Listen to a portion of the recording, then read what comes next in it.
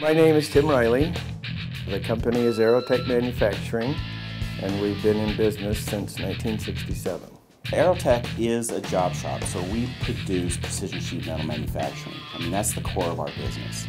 We have two products of our own, include radiant ceiling panels and uh, carpet cleaning trucks. But the job shop side, we uh, work light sheet metal. We call it precision sheet metal. We shear, we punch, we form, we weld, we grind, we laser cut, we paint, we assemble electrical enclosures. We have an engineering department. A competitor might have to send their part out to be painted, where we have in-house painting facilities, state-of-the-art in-house painting facilities, and we're able to take the product from start to finish. When our customers come and see our, our shop, they will see a mixture of old equipment and new equipment. And what's really impressive is the, the investment in that new equipment and the training and what that equipment produces for, for our customers. My name is Andrea Marietta. I work for Juniper Systems. I've been working with Aerotech for about four years now, and they are fantastic.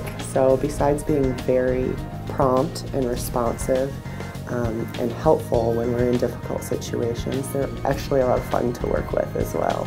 We uh, keep regular track of our supplier performance on quality, and over the past year, Aerotech has performed at 98.8% quality so it's one of our top suppliers, certainly. When we investigate a new supplier, we will look at their financials, their histories, we'll talk to references. Um, for newer companies, it's really difficult to find that information and be comfortable that you're secure in sourcing parts with a company. Um, for a company like Aerotech that's been in business so long, they have a bunch of great references. We understand their financial stability, and it's just been one less thing to worry about in the supply chain. Uh, my name is Tad Bassett. Uh, the company name is AWI.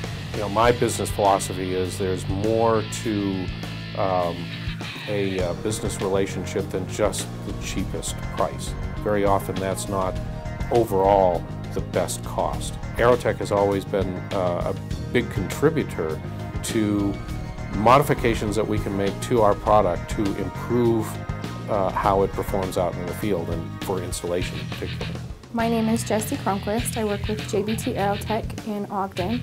I have worked with Aerotech Manufacturing for the last four years. The company I work for builds jet walks that go from the airport to the airplane. They also build big generators that run all the avionics in the airplanes. Uh, Aerotech builds panels for us that go on doors of our generators. They build various weldments that go onto our bridges, trusses, several items like that.